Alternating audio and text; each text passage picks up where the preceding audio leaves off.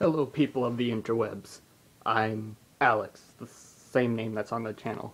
And uh, this video will be my first uh, video blog. Blog, I can hear you screaming that in your head right now. Uh, so, as a way to make my best uh, first impression, I'm going to talk about the manliest subject out there shoes. Uh, oh, and you can go ahead and ignore all that Star Wars stuff in the background. Uh, kind of nerdy here. Uh, so, anyway, if you're a stereotypical pop punk person like me, I mean, look at me, I'm wearing, I'm rocking khakis here. Uh, you trust no other shoe brand besides Converse. And I got myself a bunch of these cool uh, Green Day Converse that uh, people uh, talk about to me a lot. So, uh, to start out, I got this cool, like, uh, Dookie Green Day Converse. It's a low top. Uh, um, it's you know clearly says Green Day on the side here, and it also says it in the uh, tongue. And also lists uh, all the tracks. It says Dookie, and it has all the uh, same stuff as the album, except I think there was a printing error because it looks the monkey's head disappears into the explosion, like its head exploded. I don't know, some sort of error. And I got these uh, Green Day Uno like the newest album. Uh, and on the shoelaces, it's black with all the green, uh, or it's black with pink X's, and the inside is all white with pink X's. And on the inside of the tongue, it's Billie Joe Armstrong's face, if you can see that. Yeah. So that's uh, pretty cool.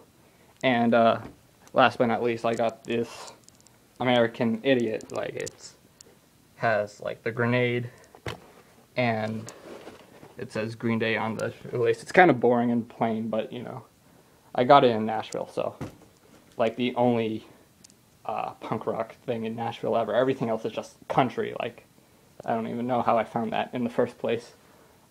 Uh, and it also has like these cool soles with like a grenade pin on the inside. It's pretty cool, but the reason why they're not in the shoe is because I have or I need an orthotic because I have flat feet, probably due to the uh, Converse. But I mean, that's my shoes, and people ask like if I get it on the internet or anything. I really don't. I just buy my shoes off of uh, the actual Converse store, like either in Boston or, like I said, I got the uh, American Idiot ones in uh, Nashville. Uh, the Dookie ones I got off the internet because they were having like a weird sale. Uh, there are also other uh, Green Day Converse out there, like there's a Kerplunk, which I didn't get on purpose because it was pretty plain. It was just like a bright green, and it said Kerplunk or something. And um, there's there's other American Idiot ones with like a grenade, with the heart grenade and whatnot. Uh, so yeah, those are at Converse. They're pretty cool. Uh, oh, and there's also like along with the Uno, there's also like Dos and Tré, but I didn't get them because uh, the Dos is like a weird orange, and I don't wear orange, so it would just clash with everything I wear. And the Tré is a blue, but not just any blue; it's a really light blue, and it just doesn't work. The reason why I'm caring about my fashion so much is because I have so many people in my family who uh, are involved with like fashion stuff. So, like as soon as I wear something that doesn't match or anything, they'll be like, "Oh hell no," and be all over my back. It's it's not fun. All right, so that that those are my shoes. All right, goodbye.